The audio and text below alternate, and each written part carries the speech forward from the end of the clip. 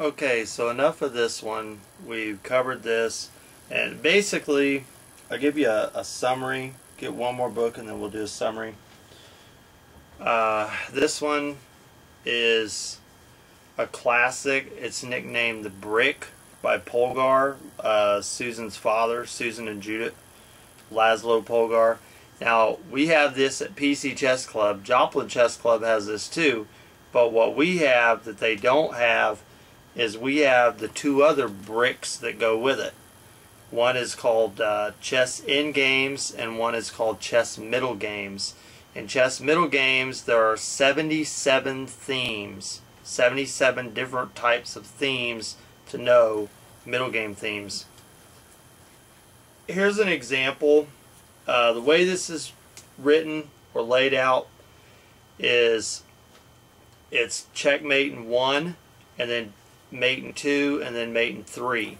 And then back towards the end, he's got some simple end games uh, it has both what's called a miniature and what's called a Meredith. A, a miniature is where you have seven pieces or less on the board. A Meredith is where you have 12 pieces. If you have 8 to 12 pieces, the technical name for that is called a Meredith. Okay? Now, long time ago, Martin Stahl, the uh, tournament director at Joplin Chess Club, he was a student at PC Chess Club. And I really don't want to get into uh, rumors, allegations of uh, spying and stealing, but I'll just say that uh, that may well be the reason that uh, Martin was uh, kicked out, booted out, told to leave, don't come back. But anyway, we'll keep all the politics out of it. We'll just stick with chess. Uh, this is the position that he could not get. He sent me an email. I'll show you the email sometime if you want to see the email. Just email me and I will forward you that same email that Martin Stahl sent me that he could not figure this out. This is White to Move. In here, for those that have this book, those of you that have it, or you want to get it and look it up, it is diagram number 745. And this is the exact position. I've marked it. This is the exact position that Martin sent me about and seems so chaotic about. I was like, what in the world is this guy going on and on about? This guy is just going on and on and on about, I can't see it, I don't get it, I just don't get it. I'm like, Martin, you don't get it. How can you not get it? you could spot this thing, man. You could spot it easy. I could spot it in like half a second. And that was back when Martin was so big on, uh, well, you need a tournament rating. You have to go do tournaments. You think you're so good, go do tournaments. I was like, no, Martin, do not go do tournaments. If you're trying to break a record, the last thing you want to do is screw up your chances to break that record. You don't want to do that.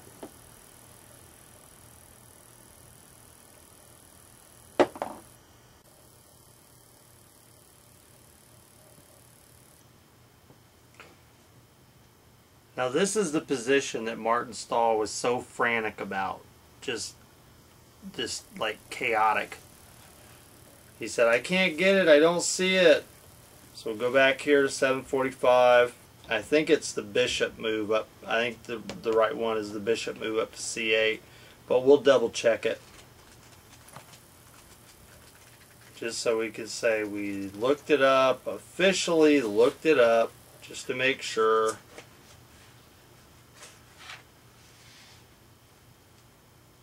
Yep, that's it. Bishop c8. That's the first move. Now, this one is the one that we use as a drill book. This is not what you learn checkmate with. This is more like a drill book. This is when you know pattern recognition, then you go ahead and you blitz through it. And here's the reason why. Because if you take it, checkmate. Rook's got that, that. Queen's got that, got that. Queen covers rook. And besides, even then, uh, that wouldn't even apply because the queen uh, covers that square anyway. The king couldn't go. Bishop's got that. You would still need a rook or some piece to cover that flight square. But that's the reason why. And if they don't, they come down here and they take it. That's simple. Real simple. You take the queen. Checkmate. You see here? Queen, queen, bishop, all along this line. Bishop's got that. This bishop has that. Queen and bishop has that. So this piece here is blocked in. The king can't go out. His only flight square is blocked in. So either way, I mean, done deal. And I did not for the life of me understand what is it that Martin just does not see. Martin Stahl just doesn't see the checkmate. I don't know what the deal is. I don't know what's going on. I don't know what's going through his head. Maybe that's why he's so low rated. Maybe that's why he can't get his rating up. I don't know. But I'm trying to set a record to um, make the norms if I can. I'm open pray. It's a lot of study to it. But if I don't, I'll still be a good coach and a good teacher, and I'll set the path for other people to follow. And the record we're trying to break is to get three norms in three tournaments. You get 25 provisional games, and if you can play in a tournament that has nine rounds and it has people from other countries and you can beat seven of those nine GMs, Grandmasters, you make a norm. Well, the quickest way you could do it would be if you did three tournaments. You did the first tournament, norm one. Second tournament, norm two. Third tournament, norm three. There you go. Three tournaments, three norms. Make sure that you get your rating 20, 2500 at least, at least minimum and they award you the Grandmaster title. Uh, I came up with, coined the term, the academic rating. You take a bunch of tests. You can do solitaire tests out of Chess Life. You can do a lot of the Convectus software. Excellent software. Um, that will give you a rating as well. They give you moves just like this, and they ask you, you know, can you spot the move? Uh, what's the winning move and how long does it take. I saw this, bam, just like that. I was like, wham, bingo, that's it right there. And the reason is, I don't know why they can't spot this. Reason is because remember what I just talked about in the other part of the video segment? I said you see the final position. That's your final position. You have to see that. You're going to either see either this as your final position, queen and rooks. Like in Bruce Pandolfini's endgame course, talks about queen and rook roll. You kind of you walk them up, you know, and walk them down the board. Well, I knew right off. I mean, bam, that quick. I knew. I saw this diagram. I was like, bam, that's it. Queen right there, checkmate. Or I knew if he had that sitting there that was gone. It was like, bam, checkmate. That's it. Done. Done deal. I was like, dude, what is taking so long? How can this be a problem? You don't see this checkmate? And you think that I play at your level? Uh, not Arlie. And you think that you play at my level? Kitty, stop! Hey, don't be scratching furniture. Um, I was thinking with Martin, Martin Stahl, I was saying to myself, huh, and you think you play at my level? Not even close.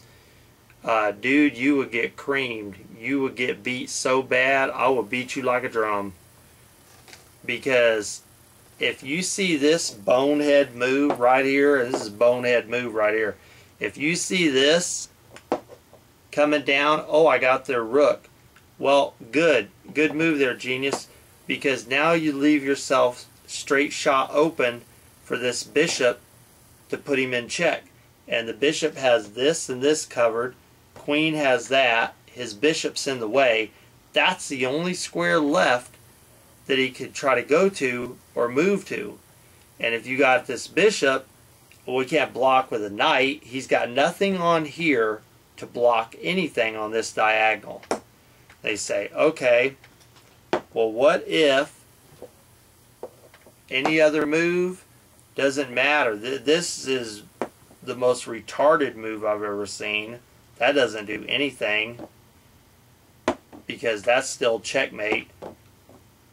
But basically where it all hinges is right here. And this is the part that Martin Stahl failed to get. It's called line clearance. It's a theme. You learn that. You learn actually you can learn it two ways. You can learn it as tactics or you can learn it as strategy, line clearance. There's a really good book we'll be covering in our tactics series uh, called Killer Chess Tactics by Eric Schiller. And he breaks it down into some tactics. You got three things. Some tactics are to win pieces. Some of them are to control a square, um, to attack a square. Other ones are to get the king. So you have an attack on pieces, attack on the king, and an attack on squares. On squares has more to do with middle game and positional play. That is where you're going to go for open lines, closing lines, any of that. See, this is opening a line. This is a line right here, okay? So you're trying to open this line to get this queen down here because that would be checkmate. And so, whoops.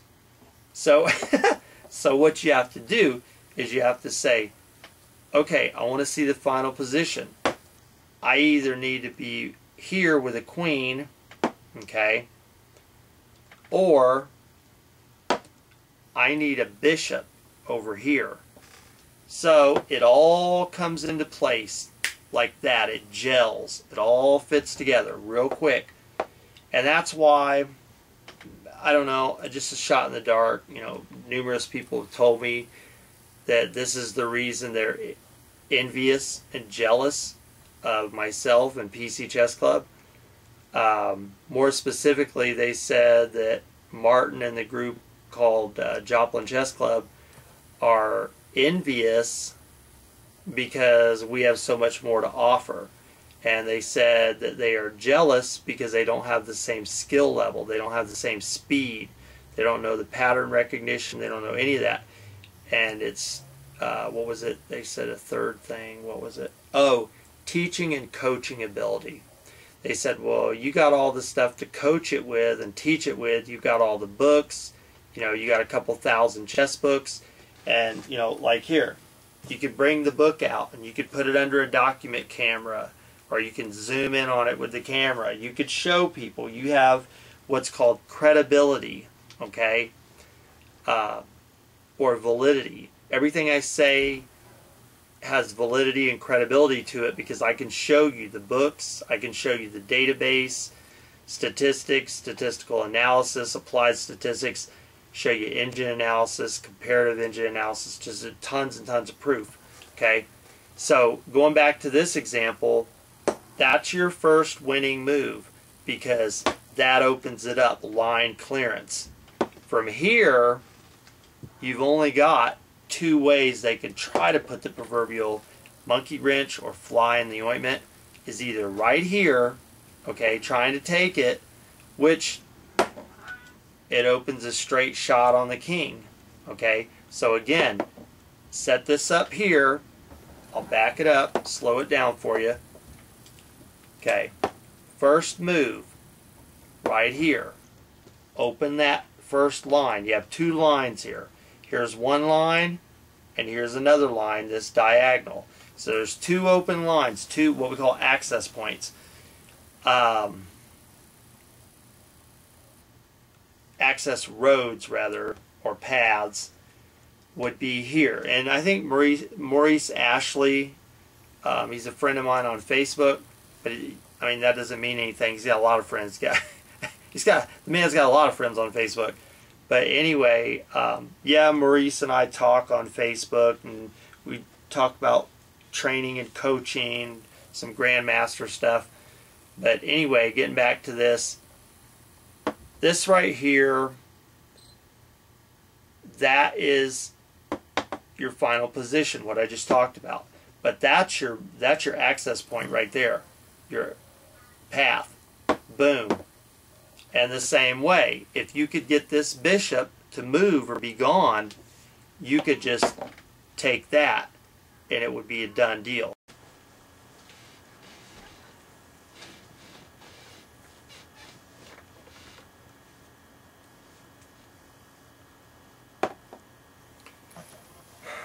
So in summary, I would say the lessons learned here today are themes and pattern recognition.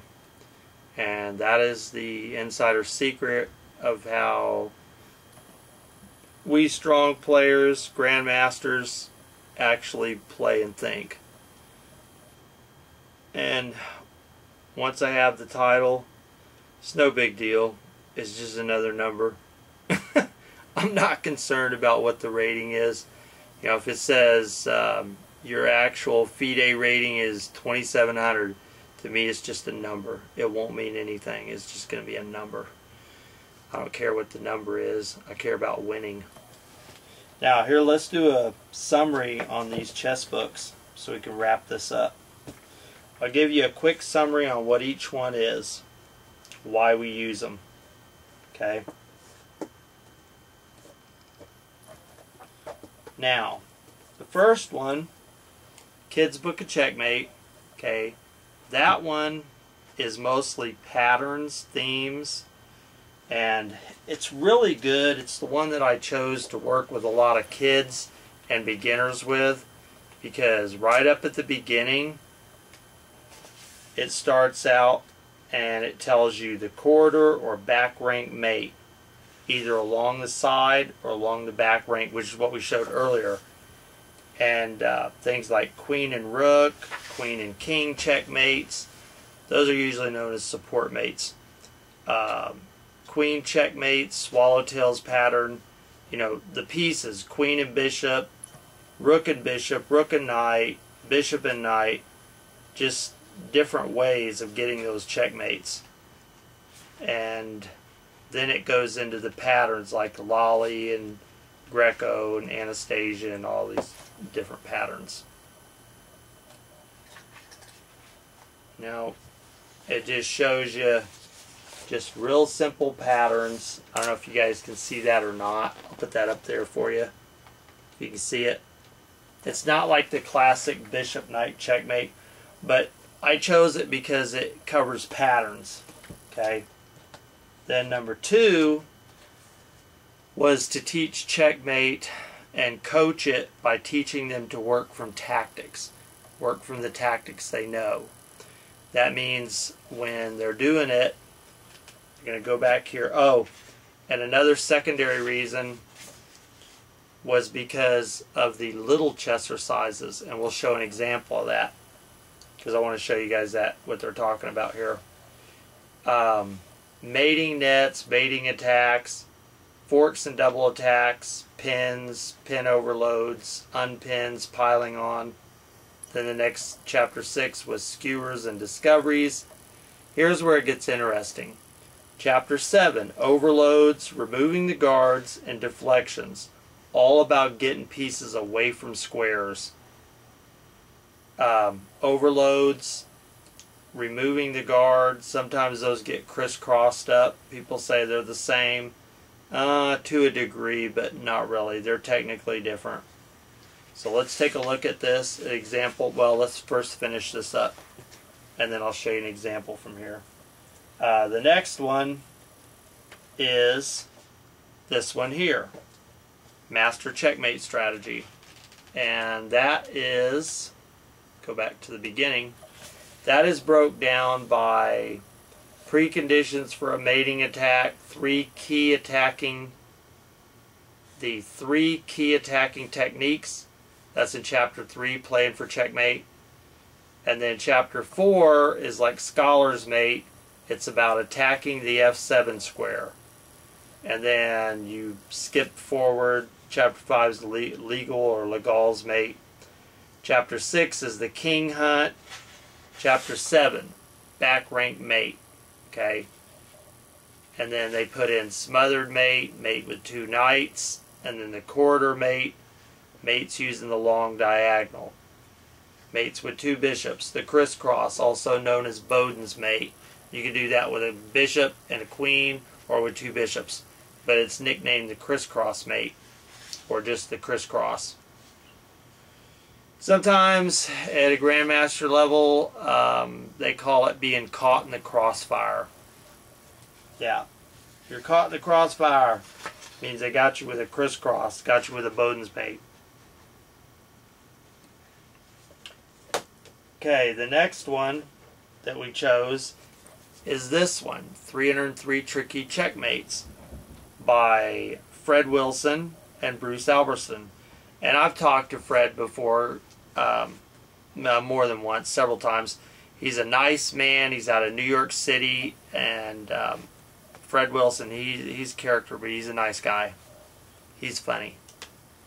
And one of the reasons, the summary on this one, that we chose it is because it's broke down. White to move and mate in two, black to move and mate in two. White to move and mate in three, and then black to move and mate in three. Now, in each chapter where it's white to move and mate, they're going to give you a breakdown by tactics or themes. It's one of the best ways to learn. Uh, like example, problems 1 through 13, back rank and other corridor mates. About every 13. I want to give you about a dozen examples. Uh, rook and bishop corridor mates diagonal mates with queen and bishop, or rook and bishop, or only a bishop. And then bishop and knight mates, support mates with the queen, etc. Don't want to go into each one. But the idea is you know the theme, you know how it's done. You look at it and you say, oh, it's back rank mate. Hmm, okay. So you look at this and you know there's one move and the second move is going to be checkmate and you know it's going to be on the back rank okay? Or you know it's going to be down here. It's going to be the last category quiet moves and zugzwang or zugzwang uh, depending on how you pronounce it. I usually call it zugzwang. So you go to that. Then we use this one. And these are the same ones that I used when I was learning it myself. So it's not just me out here throwing out books or videos. A lot of this stuff is stuff that I actually tried, tested, and I know it works. And I've used it in hundreds and hundreds of games, if not thousands. I've used it definitely in hundreds and hundreds. And it definitely works. Um, this one was a simple one it's just all real straightforward. And it's just mate in one, two, or three. You start out with mates in one, and they're all mixed up. It's anybody's guess what kind of pattern it is. Then you go to mate in two, and then mate in three. Progression. Think progression when you think that. This one is a classic uh, Renaud and The Art of Checkmate. This one is just like the first one, Kid's Book of Checkmate, it, but it's more like this. I'll show you a quick view of it. Yeah, a lot of explanation, a lot of talking going on because they want you to see the patterns, but they're going to say, well, here's an example of Bowden's mate, the crisscross mate but here's a couple of games, real games between real people, not just a study or a problem, you know, some made up position. These are taken from real games by real people. And they're going to show you how they got there. a lot of people know the tactics, but they don't know how to set them up. They don't know how to get there. It's like, I know the checkmate. Hmm. Like, I'm sure Martin Stahl knew that was checkmate. But he wasn't thinking level headed and clear to think, wait a minute. Files are lines, ranks are lines, and diagonals are lines. You're either closing lines or opening lines. If this bishop was not in the way and you asked Martin Stahl, checkmate in one, can you find it? He'd probably say, right there. And he'd probably spot it. I mean, now, a couple of years later, this was back in like 09, he would probably, I hope, five years later, he'd spot that checkmate in one instant. So that's how you know your first move had to be anything to get that bishop out of the way because this rook is going to be vulnerable as soon as you move it. But with this bishop gone out of the way, you got a straight shot to going right down there to that key square, which is an access point. Right there. Protects the rook and secures both ranks. Done. Dead. King is dead. Checkmated. So remember this one, Art of the Checkmate. And then this one, just all puzzles, but it's set similar to um, this one. These are very similar, okay? This one is just one, two, and three. This one, I believe, is like a two, three, four, five, and I think six. Yeah.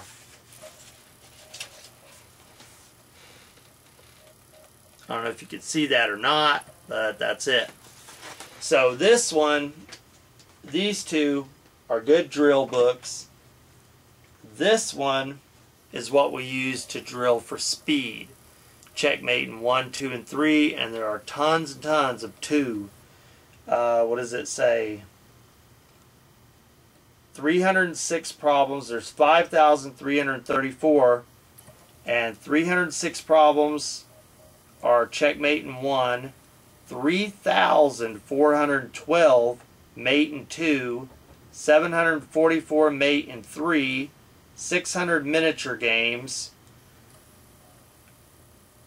144 simple end games, and 128 tournament game combinations, plus the solutions.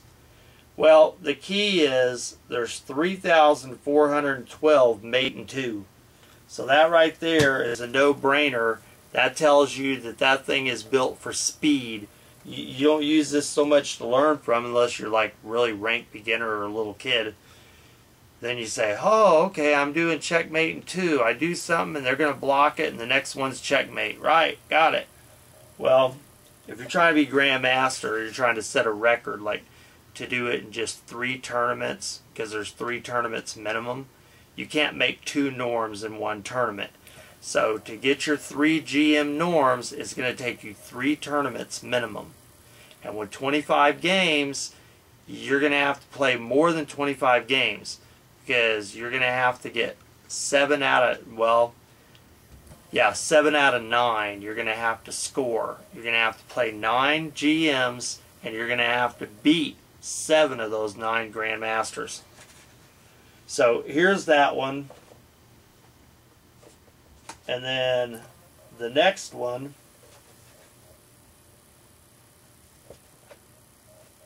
is this one, the one that goes by themes. And as I showed you earlier, recap, once you know tactics and you know different types of checkmates, then you start learning uh, what some people call a motive or like an idea, a motif. Uh, I just call them themes.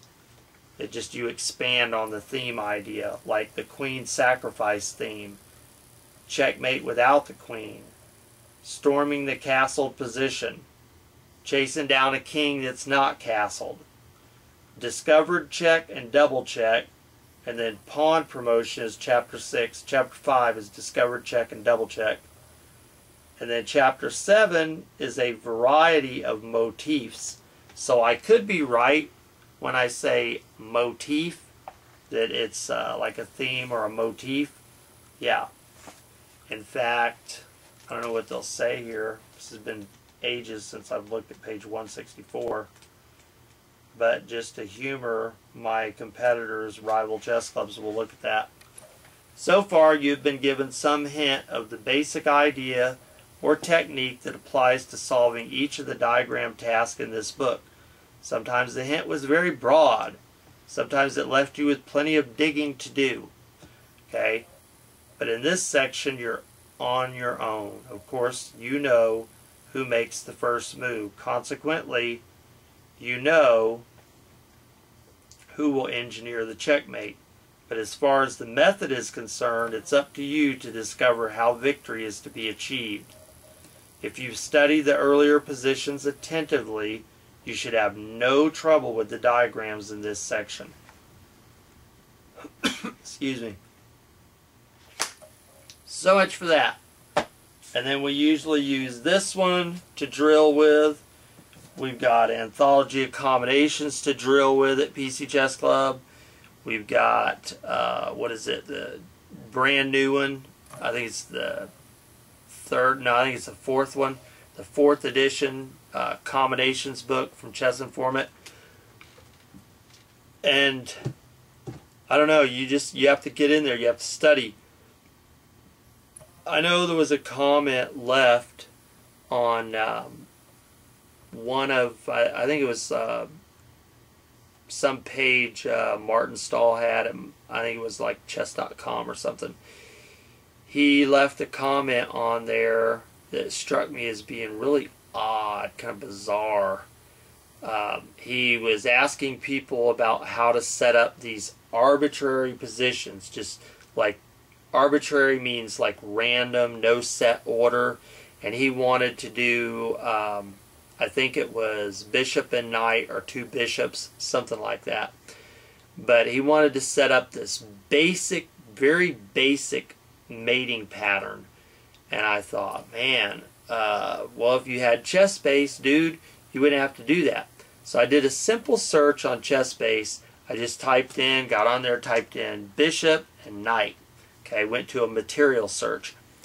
Came back with 1,375. Yep, 1,375 positions is what ChessBase found that were all bishop knight checkmate. And obviously, being from real games, you could sort them by rating, you could sort them by country, by gender, men, women, whatever. Doesn't matter.